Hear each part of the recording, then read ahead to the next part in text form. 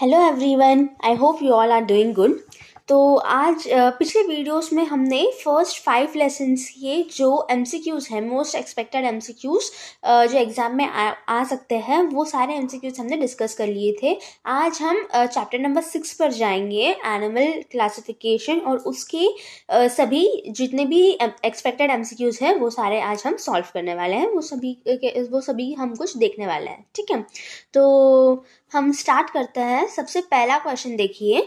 My body is soft and slimy hence I am referred as अगर किसी का body अगर पर्टिकुलर एनिमल का बॉडी सॉफ्ट और स्लाइमी है तो वो कौन से ग्रुप में आएगा? मोलस्का एकाइनोडर्माटा एनालिडा आर्थ्रोपोडा तो सबसे पहले बात, आपको आर्थ्रोपोडा और एकाइनोडर्माटा को तो नेग्लेक्ट करना चाहिए, इसको एलिमिनेट करते आना चाहिए, क्योंकि इन दोनों का बॉडी जो है सॉफ्ट होता ही नहीं है। तो आंसर आपके पास आ जाएगा, आपके पास मोलस्का ठीक है? मोलस्का का बॉडी जो है सॉफ्ट और स्लाइमी होता है। ठीक है, बच्चे यहाँ पर बहुत कंफ्यूज हो जाते हैं। उनको कैरेक्टरिस्टिक्स याद नहीं रहते हैं पर्टिकुलर ग्रुप्स के तो वो सारे कैरेक्टरिस्टिक्स पर्टिकुलर ग्रुप के आप याद कर लीजिए। ठीक है? नेक्स्ट आ जाते हैं अपन which of the following is a hermaphrodite animal hermaphrodite means आपको ये पता होना चाहिए हर्माफ्रोडाइट मीन्स बाइसेक्सुअल एनिमल ठीक है? बाइसेक्सुअल एनिमल जिसे कहते हैं हर्माफ्रोडाइट मतलब एक ही बॉडी में आपके पास मेल एंड फीमेल दोनों भी रिप्रोडक्टिव ऑर्गन्स प्रेजेंट होते हैं, उसको कहते हैं आप हर्माफ्रोडाइट ठीक है? अब हर्माफ्रोडाइट के एग्जाम्पल्स भी आप बहुत अच्छे से लर्न कर लीजिए। इसमें जो इसमें जो ऑप्शन है, उसमें स्कॉर्पियन नहीं है सेंटिपीड नहीं है कॉकरोच नहीं है तो आपके पास आंसर आ जाएगा डोलियोलम, ठीक है? डोलियोलम जो है एक हर्माफ्रोडाइट एनिमल है। अब नेक्स्ट आ जाते हैं which of the following can regenerate the broken body parts ऐसे कौन सा एनिमल है जो रीजनरेट uh, कर सकता है अपने ब्रोकन बॉडी पार्ट्स को? तो इसमें आपका आंसर आ जाएगा ये तो दिखते बराबर uh, सबको आंसर आ जाना चाहिए इसका आंसर आ जाता है स्टारफिश स्टारफिश के पास रीजनरेटिव रीजनरेट करने की कैपेसिटी होती है ताकि वो कुछ भी अगर uh, वो, uh, उसका बॉडी पार्ट टूट जाता है तो वो फिर से अपने बॉडी पार्ट को फिर से बना लेता है। ठीक है इसे कहते हैं रीजनरेशन प्रॉपर्टी अब नेक्स्ट आ जाते हैं। नेक्स्ट क्वेश्चन कह रहा है आपके पास which of the following is warm blooded या फिर होम्यो होम्योथर्स एनिमल ठीक है? तो इसमें से कौन सा वार्म ब्लडेड होता है? तो warm blooded cold blooded animals के सभी एग्जाम्पल्स आप अच्छे से लर्न कर लीजिए। इसमें बैट जो है, आपके पास वार्म ब्लडेड एनिमल आ जाएगा। ठीक है? अब next question number forty five देखिए। My body is dash shape to minimize water resistance. अगर किसी भी चीज़ को आपको वाटर रेजिस्टेंस कम करना हो तो उसका बॉडी कौन सा शेप का होना चाहिए? तो उसका बॉडी कौन सा शेप का होना चाहिए? उसका बॉडी होना चाहिए स्पिंडल शेप का, ठीक है? स्पिंडल शेप मीन्स ऐसा कुछ एक शेप होता है, ठीक है? यहाँ पे जो एंड्स होते हैं, वो टैपरिंग होता है। एंड्स जो है, वो कोनिकल हो जाता है। बीच का जो बॉडी पार्ट होता है, वो थोड़ा सा ब्रॉड होता है और एंड्स के आते आते वो थोड़ा सा पतला हो जाता है। इसे कहते हैं स्पिंडल शेप। तो अगर आप स्पिंडल शेप का बॉडी आपके पास है तो वाटर रेजिस्टेंस हो गया एयर एयर रेजिस्टेंस इन सब की कैपेबिलिटी उस पर्टिकुलर एनिमल के पास होती है। जो फ़िश होती है एक्वाटिक एनिमल्स होते हैं उन सब उनकी बॉडी भी स्पिंडल शेप की होती है ताकि जो वाटर है वो उनको रेजिस्ट कर सके। वाटर रेजिस्टेंट कैपेसिटी वो उनको इस स्पिंडल शेप बॉडी से ही मिलती है। ठीक है? अब नेक्स्ट आ जाता है फोर्टी सिक्स पे। फोर्टी सिक्स क्वेश्चन आपसे क्या कह रहा है? Dash is animal dash is call as friend of farmers ये बचपन से हम पढ़ते आ रहे हैं और इसमें तो किसी को भी आ, कुछ भी डाउट नहीं होना चाहिए, वो आ जाएगा आपके पास अर्थ वॉम ठीक है सिंपल सा क्वेश्चन है। नेक्स्ट आ जाते हैं। Which of the following animal is a hard calcareous shell ठीक है? हार्ड कैल्केरियस शेल्स मीन्स जो हार्ड हो और कैल्केरियस मीन्स उसका जो मेन कॉम्पोजिशन हो, वो किससे बना होना चाहिए? कैल्शियम से बना होना चाहिए। ठीक है? तो ऐसा कौन सा है? इसमें से नीरस नहीं हो सकता, ठीक है? शैक तो बिल्कुल नहीं हो सकता, उसमें शेल ही नहीं होता है। हर्डमेनिया नहीं है हर्डमेनिया नहीं हो सकता, ठीक है? उसमें भी शेल्स प्रेजेंट नहीं होता तो आंसर क्या हो जाएगा? आपके पास बाइक वेल्व आ जाएगा, ठीक है? ये आप लर्न कर लीजिए अच्छे से, ठीक है? अब नेक्स्ट आ जाता है फोर्टी एट पे फोर्टी एट क्या क्या बोल रहा है आपके पास? Dash acid is use as production of vitamin चलिए तो यहाँ तक फोर्टी सेवन तक आपके सारे एनिमल क्लासिफिकेशन क्लासिफिकेशन के क्वेश्चन सारे कंप्लीट हो गए ठीक है? एनिमल क्लासिफिकेशन में अगर हम देखा जाए तो बहुत ही uh, जो एम सी क्यूज है वो आपके एग्जाम्पल्स के एग्जाम्पल्स पे बेस्ड होता है ठीक है? जो भी uh, आपके हर्माफ्रोडाइट के एग्जाम्पल्स हो गए मोलस का, का जो uh, क्या कैरेक्टरिस्टिक है उसके ऊपर, ठीक है? तो मोलस्का के कैरेक्टर जिस, जो भी मतलब सभी फाइलम्स के कैरेक्टरिस्टिक्स और सभी के एग्जाम्पल्स बहुत अच्छी तरीके से लर्न होने चाहिए आपको, ठीक है? स्पेशली ये जो वार्म ब्लडेड या फिर एनिमल्स है, इसके भी एग्जाम्पल्स आपको बहुत अच्छी तरीके से लर्न कर लीजिए। अगर आपके पास, आपको लर्न नहीं हुआ तो अभी भी टाइम है, आप लर्न कर सकते हैं, ठीक है? अब नेक्स्ट आ जाते हैं नेक्स्ट लेसन पे आ जाते हैं। नेक्स्ट लेसन आपके पास है, आप, है ठीक है, उसका फ़र्स्ट क्वेश्चन देखिए। Dash acid is use in production of vitamin ठीक है?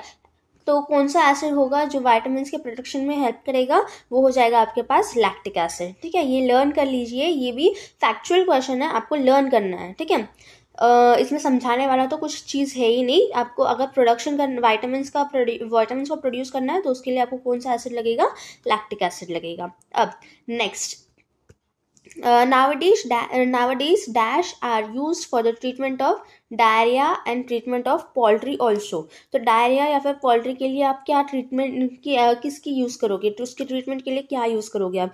तो इसमें आ जाएगा प्रोबायोटिक्स ठीक है? प्रोबायोटिक्स से आप डायरिया और पोल्ट्री इन दोनों को भी कंट्रोल में रख सकते हो। डायरिया को अगर आपको कंट्रोल करना हो अगर आपके पास आपको डायरिया हो जाता है, किसी भी पेशेंट को डायरिया हो जाता है और आप डॉक्टर के पास जाते हो तो वो आप, वो डॉक्टर आपको क्या सलाह देता है कि आप प्रोबायोटिक्स लीजिए। प्रोबायोटिक्स में सबसे मेन रिच प्रोबायोटिक क्या हो जाता है? आप, वो बोलते हैं आपको दही खाइए, ठीक है? दही इज़ रिच इन प्रोबायोटिक्स ठीक है? तो इसलिए आपको कहते हैं कि दही आपको रोज़ खाना चाहिए, ठीक है?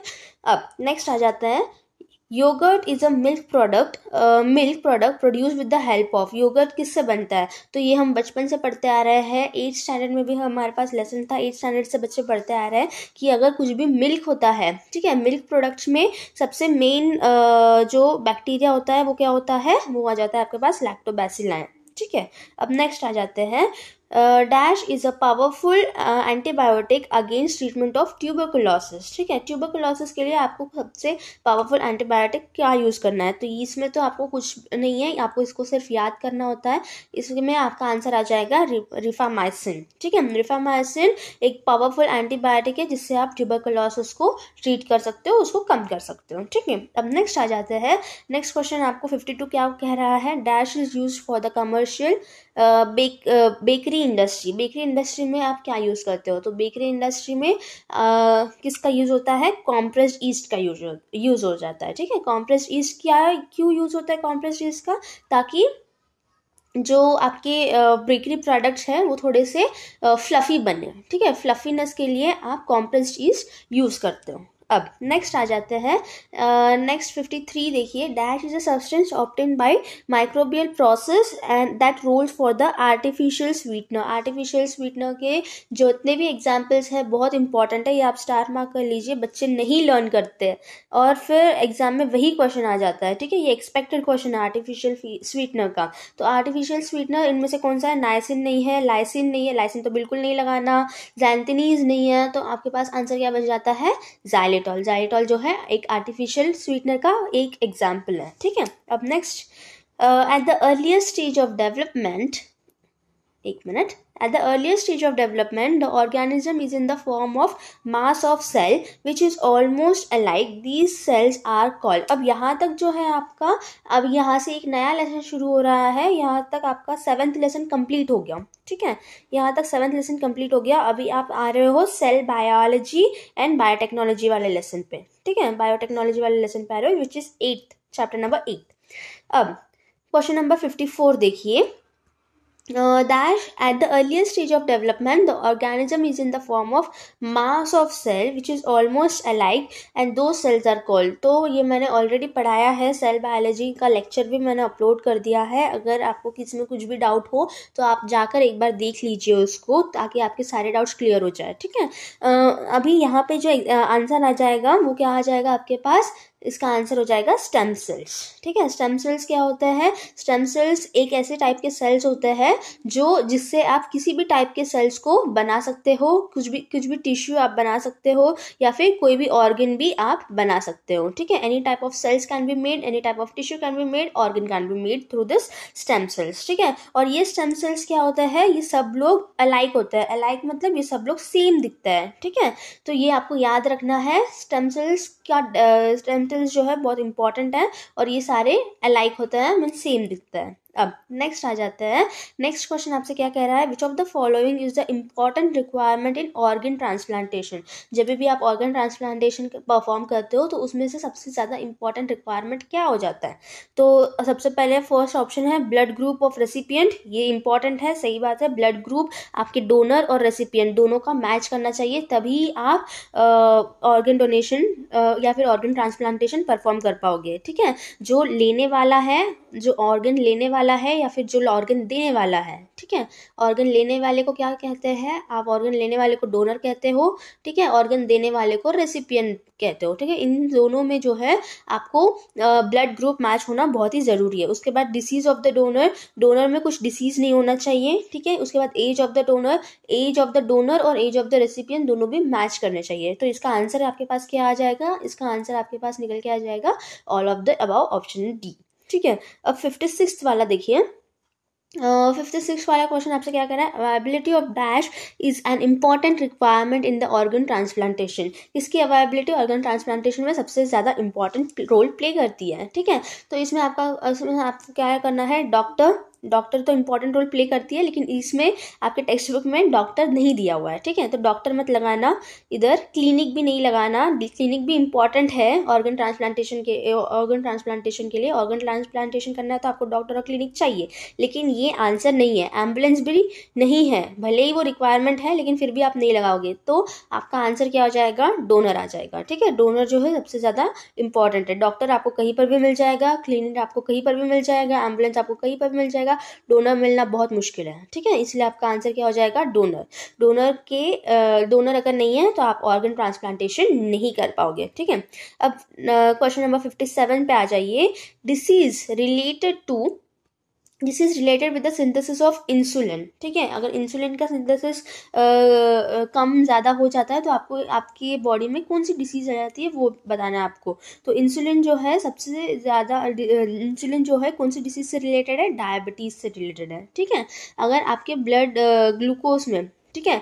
ब्लड में अगर ग्लूकोज की कम, कमी हो जाती है ग्लूकोज ज़्यादा हो जाता है, ठीक है? अगर ब्लड में ग्लूकोज लेवल ज़्यादा हो जाता है तो आपको क्या करना पड़ता है? इंसुलिन को सिक्रीट करना पड़ता है, ठीक है? इंसुलिन की मात्रा आपके बॉडी में इंसुलिन आपके बॉडी में सिक्रीट होता, हो जाती है और फिर ग्लूकोज लेवल को कम कर देती है। इसी प्रकार इंसुलिन क्या करता है? ग्लूकोज लेवल को हमेशा मेनटेन करके रखता है, ठीक है? और ये कौन सी डिसीज़ को ट्रीट करता है? डायबिटीज़ को ट्रीट करता है। अगर इंसुलिन की मात्रा कम ज़्यादा हो जाती है तो आपको आपकी बॉडी में डायबिट आपको डायबिटीज़ हो जाती है, ठीक है? अब नेक्स्ट आ जाता है, एक मिनट मैं थोड़ा सा पेज निकाल लेती हूँ। ओके तो यहाँ तक हो गया। अभी फिफ्टी एट वाला देखिए आप। फिफ्टी एट्थ में क्या कहा है? Transgenic raw potatoes generate the immunity against dash disease कौन सा डिसीज ट्रीट करने के लिए आप ट्रांसजेनिक रॉ पोटैटोज यूज़ करते हो? तो टीबी तो नहीं लगाना टीबी तो सबसे पहले एलिमिनेट कर दो। प्लेग भी नहीं है लेप्रोसी भी नहीं है। सब बच्चे जो है इस क्वेश्चन को नेग्लेक्ट करते हैं, ठीक है? ये क्वेश्चन को नेग्लेक्ट नहीं करना बहुत इंपॉर्टेंट क्वेश्चन है, इसको आप स्टार मार्क लगा लीजिए, ठीक है? ये इसीलिए स्टार मार्क लगा रहे हो क्योंकि आप भूल जाओगे, ठीक है? अब नेक्स्ट देखते हैं। Next fifty ninth dash have valuable contribution in green revolution in USA USA की बात चल रही है। आपके टेक्स्ट बुक में दो आ, दो आ, दो लोगों का नाम दिया हुआ है। कौन कौन से लोगों का नाम दिया हुआ है? हरगोबिंद खुराना का नाम है ही नहीं आपके टेक्स्ट बुक में तो इसको सबसे पहले एलिमिनेट कर दो। वर्गिस क्यूरियन का नाम है ही नहीं तो इन दोनों का एलिमिनेट कर दो। बच्चे डॉक्टर स्वामीनाथन और डॉक्टर नॉर्मन बॉर्लॉग इन दोनों में से यूएसए के बारे में पूछ रहे हैं। तो स्वामीनाथन तो आपको नाम से ही पहचान में आ जाना चाहिए कि ये कोई तो भी इंडियन इंडियन है, ठीक है? तो बच्चे कौन से? यूएसए वाले, ये। तो डॉक्टर नॉर्मन बॉर्लॉग जो है आपके पास आंसर आ जाएगा। तो यहाँ से आप यूएसए की बात कहिए आपकी टेक्स्ट बुक में जो है दो लोगों का नाम मैंशन है, एक नॉर्मन बॉर्लॉग का मैंशन है और एक स्वामीनाथन का मैंशन है, ठीक है? स्वामीनाथन जो है, इन्होंने भी ग्रीन रेवोल्यूशन के लिए बहुत ज़्यादा कॉन्ट्रीब्यूशन किया है, लेकिन ये इंडिया में कॉन्ट्रीब्यूशन किया है। अगर यूएसए के बारे में पूछ रहे हैं तो नॉर्मन बॉर्लॉग लगाओगे। इंडिया के बारे में पूछ रहे हैं तो तब आपका करेक्ट ऑप्शन क्या हो जाएगा? डॉक्टर स्वामीनाथन, ठीक है? इसमें ध्यान दीजिए, इसको भी आप स्टामा करके रख लीजिए, नाम याद नहीं होते बच्चों को, ठीक है? अब नेक्स्ट आ जाता है क्वेश्चन नंबर सिक्सटी ये क्या कह रहा है आपसे? Methods like artificial insemination and embryo transplantation are mainly use for तो आर्टिफिशियल इंसेमिनेशन या फिर एम्ब्रियो uh, ट्रांसप्लांट आप किसके लिए यूज़ करते हो? यहाँ पे भी बहुत सारे बच्चों को कन्फ्यूज़न हो जाता है। वाइल्ड लाइफ और पेट एनिमल्स तो पक्का आप नहीं लगाओगे। ठीक है इस पे ये इसमें तो आपको कन्फ्यूज़न होगा ही नहीं। बच्चे ज़्यादा कन्फ्यूज़न होते हैं इनफर्टाइल वुमेन और एनिमल हस्बेंड्री में। यहाँ पे आर्टिफिशियल इंसेमिनेशन और एम्ब्रियो ट्रांसप्लांटेशन बच्चे इनफर्टाइल वुमेन लगा देते हैं लेकिन आपको ये नहीं लगाना है। ठीक है? ये मेथड जो है किसके लिए काम आता है? ये मेथड आता है एनिमल सॉरी ये मेथड काम आता है एनिमल हस्बेंड्री के लिए, ठीक है? Okay artificial insemination embryo transplantation का अगर क्वेश्चन आता है तो इनफर्टाइल वुमेन नहीं लगाना। आपको क्या लगाना है? एनिमल हस्बेंड्री ठीक है? मैं ये भी बता रही हूँ कि बच्चे कहाँ कहाँ गलतियाँ करते हैं। तो आप लोग वो गलतियाँ फिर से मत रिपीट कीजिए। अब नेक्स्ट वाला देखते हैं। Dash is a revolutionary event in biotechnology after cloning तो रिवोल्यूशनरी इवेंट बायोटेक्नोलॉजी क्लोनिंग सबको पता है सबने लेसन पढ़ा है स्टेम सेल रिसर्च ठीक है? सिंपल सा आंसर है। अब question number sixty two biotechnology integrated the which is fatal for dash was produced uh, produced in the leaves of balls of cotton. ठीक है? तो ये वाला तो देखते बराबर आना चाहिए। यहाँ पर बॉल्स है तो आपका आंसर क्या आ जाएगा? बॉल वॉम नॉर्मली जो है आ, क्या होता है? बायोटेक्नोलॉजी में कॉटन के कॉटन को जो बचाने के लिए बॉल वॉर्म से इन्होंने क्या किया? Produce the leaves and bolls of the cotton ठीक है? तो कॉटन जो है बॉल वॉर्म से बहुत ज़्यादा ये हो जाता था, ठीक है? क्या हो जाता था? अफेक्टेड हो जाता था। कॉटन जो प्लांट है, वो बॉल वॉर्म बॉल वॉर्म जाके उसको अफेक्ट कर देता है, ठीक है? तो बायोटेक्नोलॉजी की मदद से आप वो जो प्रोसेस है, उसको कंट्रोल कर सकते हो। तो ये भी बहुत इंपॉर्टेंट क्वेश्चन है, इसको भी नहीं छोड़ेंगे नहीं छोड़ेंगे आप, ठीक है? अब next cell dash start from the fourteen day of conception तो सेल का कौन सा process fourteen day of conception से शुरू होता है? तो ये वाला भी मैंने अपने पहले वाले लेक्चर्स में, पहले वाले वीडियोस में ऑलरेडी इंक्लूड किया है। अगर आपको ये लेक्चर ये वाले लेसन अच्छे से नहीं समझा तो आप एक बार जाके रिवाइज कर सकते हैं, ठीक है? तो cell dash start from the fourteen day of conception इसका आंसर आ जाएगा आपके पास डिफ्रेंसिएशन टेक्स्ट बुक में। ये line as it is mentioned है, ठीक है? अब क्वेश्चन नंबर सिक्सटी फोर्थ देखिए। The government of India has encouraged Dash for improving the productivity by launching the program NKM 16. ठीक है तो एन के एम सिक्सटीन आप कौन से, किस पर्टिकुलर किस पर्टिकुलर फ़ील्ड में आप एन के एम सिक्सटीन को लेकर आते हो? एन के एम सिक्सटीन आता है सबसे पहली बात तो एक्वा कल्चर में, ठीक है?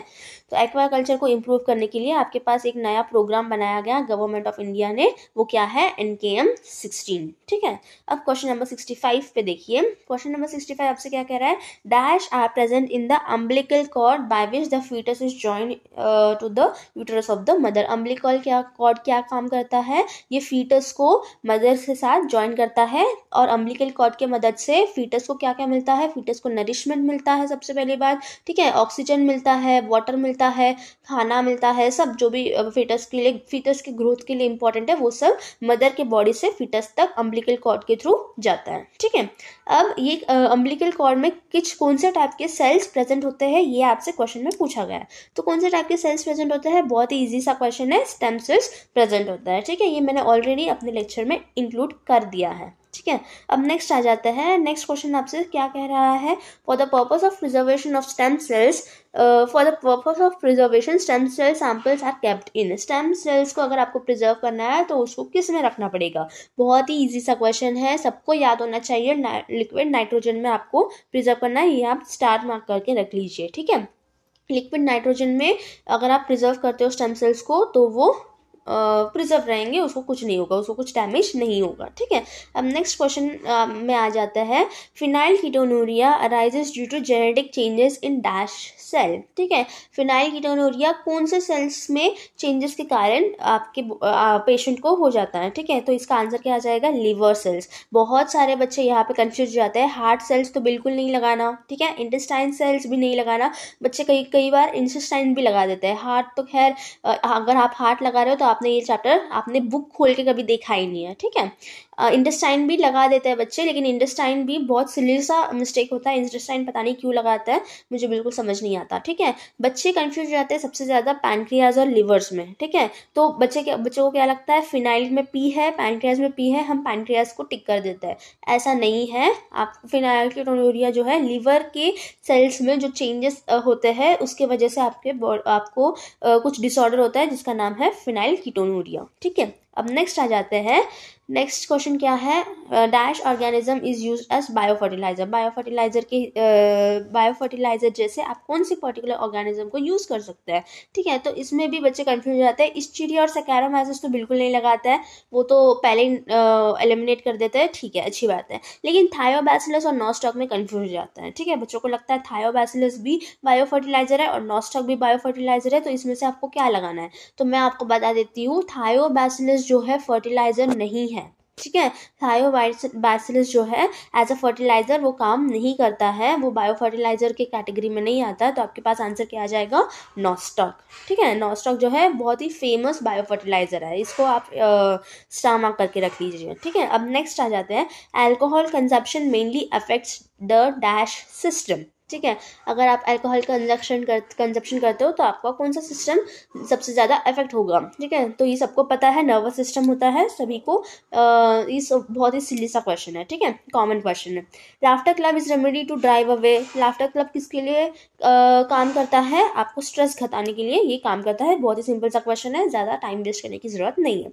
Dash helps to improve concentration in the studies ये भी बहुत बहुत ही नॉर्मल सा क्वेश्चन है कॉमन क्वेश्चन है। रोज़ कई लोग अपन को, हमें बोलते रहते हैं मेडिटेशन करो मेडिटेशन करो, लेकिन अपन है कि करते ही नहीं है, ठीक है? तो कंसंट्रेशन ऑफ़ स्टडीज़ अगर आपको इम्प्रूव करना है तो आपको मेडिटेशन करना चाहिए। अब नेक्स्ट आ जाते हैं। Dash influence in dash influence is stronger in case of adolescents ठीक है? ये बहुत इंपॉर्टेंट है।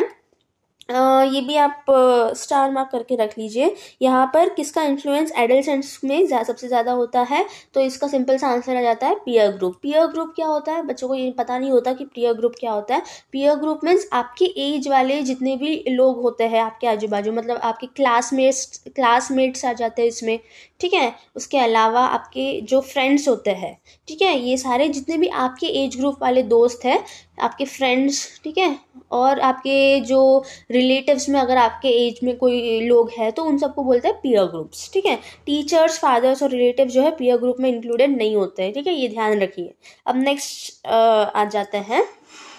नेक्स्ट क्वेश्चन आपसे क्या कह रहा है? Our dash has been change to some extent at the age of technology तो ये बहुत ही सिंपल सा आंसर है। हर रोज कहीं ना कहीं हम पढ़ते ही है लाइफ जो है, अपना चेंज हो गया है टेक्नोलॉजी की वजह से, ठीक है? अब नेक्स्ट आ जाते हैं। Hobbies like dash pet animal help to create positive mindset तो पैट को आप क्या करते हो? पालते हो, ठीक है? पेट्स को आप क्या करते हो? पेट एनिमल्स को आप पालते हो और पालने को क्या कहते हैं? रियरिंग ठीक है? तो hobbies like rearing pet animal helps to create the positive mindset ठीक है? अब नेक्स्ट आ जाता है. Continuous continuous consumption of dash substance causes carcinogenic specially in the mouth and the lung carcinogenic मतलब क्या होता है? कार्सिनोजेनिक मीन्स कैंसर कॉजिंग ठीक है? ऐसे कुछ एक्टिविटी uh, जो कैंसर के लिए कैंसर uh, का कॉज है उसको कहते हैं कार्सिनोजेनिक ठीक है? उसके बाद किसमें कार्सिनोजेनिक किसमें कैंसर होता है? माउथ और लंग में. तो क्या कंजप्शन से आपको माउथ और लंग में कैंसर होने के चांसेस है? सबको पता है ये। टोबैको लाइक सब्सटेंसेस अगर आप कंज्यूम करते हो तो आपको कैंसर हो सकता है माउथ और लंग में। ठीक है, अब नेक्स्ट आ जाते हैं। एल्कोहलिक पर्सन लैक्स एक minute. Okay alcoholic person lacks dash thinking ठीक है? एल्कोहलिक पर्सन के पास इस टाइप का थिंकिंग नहीं होता है, ठीक है? इनके पास रैशनल थिंकिंग नहीं होता है, ठीक है? रैशनल थिंकिंग मीन्स क्या होता है? Rational thinking means is nothing but the logical thinking ठीक है? रैशनल मीन थिंकिंग मतलब क्या होता है? लॉजिकल थिंकिंग एक मिनट में थोड़ा अच्छे से तरीके से लिख देती हूँ ताकि आप लोगों को समझ में आ जाए. लॉजिकल थिंकिंग ओके अब नेक्स्ट आ जाता है क्वेश्चन नंबर सेवेंटी सेवन ये क्वेश्चन आपसे क्या कह रहा है? डैश में arise due to excessive use of mobile phones ठीक है? ऐसे कौन से प्रॉब्लम्स है जो आपको excessive use of mobile phone mobile phone ज़्यादा चलाने की वजह से हो सकता है? ठीक है? तो ये तो आई हो मुझे तो लगता है सभी सभी लोगों को ये प्रॉब्लम होंगे ही। हेडेक होता है प्रॉब्लम ऑफ़ विजन होता है, ठीक है? जॉइंट पेंट होता है, ये सब कुछ इंक्लूडेड होता है। तो आपका आंसर क्या आ जाएगा?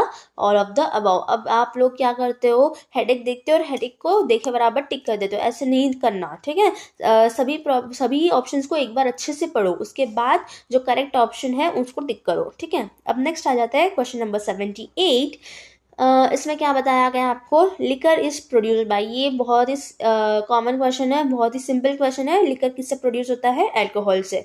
अब आप पक्का मुझे ये, ये तो यकीन है कि सॉल्ट एसिड या ग्लूकोज ग्लूकोज तो पक्का कोई नहीं लगाएगा ठीक है? तो अगर ये आप लगा रहे हो तो फिर आपको आपने कभी साइंस का बुक खोल के भी नहीं देखा होगा। ठीक है?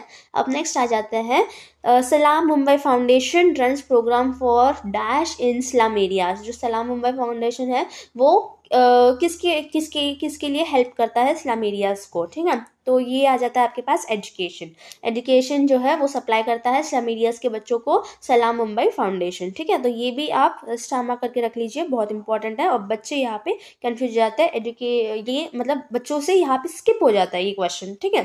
तो इस प्रकार हमने साइंस टू के जितने भी चैप्टर्स है, उन सभी चैप्टर्स के मल्टीपल चॉइस क्वेश्चन जितने भी एक्सपेक्टेड है, जो भी मोस्ट एक्सपेक्टेड क्वेश्चन है, वो सब हमने सॉल्व कर लिया है. तो आई होप ये आपको बहुत अच्छा लगा होगा, इससे आपको इससे आपका पूरा जो साइंस टू है, उन सभी, उसको सब कुछ आधा से ज़्यादा रिवाइज हो गया होगा।